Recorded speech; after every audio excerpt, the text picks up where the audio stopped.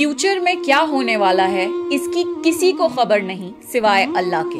इस्लाम एक ऐसा रिलीजन है जो एस्ट्रोलॉजी के कंसेप्ट को बिल्कुल एक्सेप्ट नहीं करता। Horoscope reading fortune telling zodiac science palmistry tarot card reading superstitions and astrology ये सब करना मना है क्योंकि ये शिरक है।